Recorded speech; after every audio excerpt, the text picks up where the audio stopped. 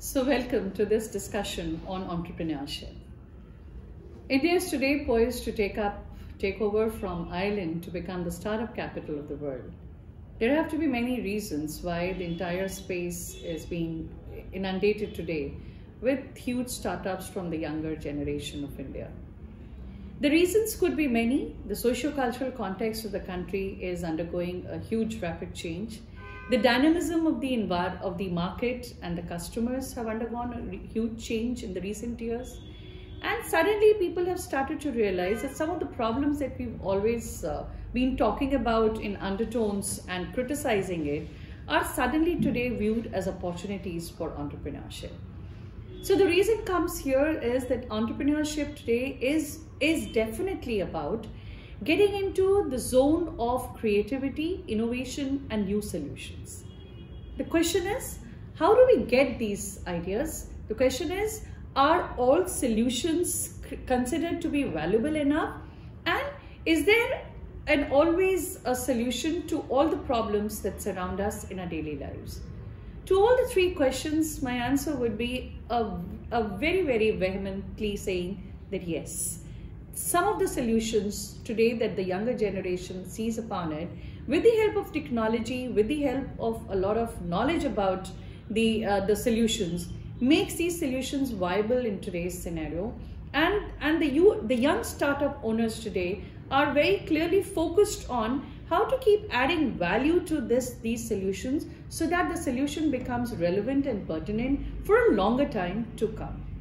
The second important issue is uh, do, do we do we completely depend upon technology?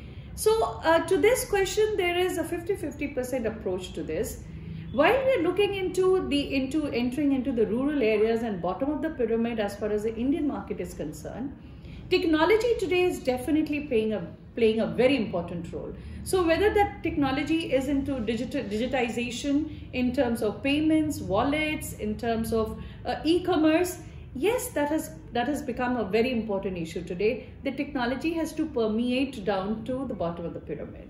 But to some extent, this technology can prove to be not just one element, but there are too many silver linings to this to this cloud of technology. So one needs to tread very carefully upon this area as far as the utilization of technology is concerned for devising solutions to problems because certain problems require sensitivity to the problem to, to, the solution that one is providing in this area.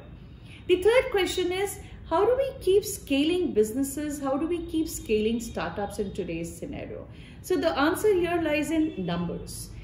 Fortunately in India, we are, every market has numbers, the size of the market is ever increasing. With continuous segmentation strategy and niche marketing approach, these numbers are not dwindling at any stage of our startup founders. For therefore, these founders need to keep, keep, keep very, something very clearly in their heads that this is, is a growing phase phenomena and as for the market size and potential, it depends upon how creatively this segment has been tapped and the potential and the resources capitalized to keep reaching out to new customers, keep opening up new revenue streams for their own ideas. I hope this has been a useful lecture for people who are uh, who are still venturing upon setting up a startup. Thank you.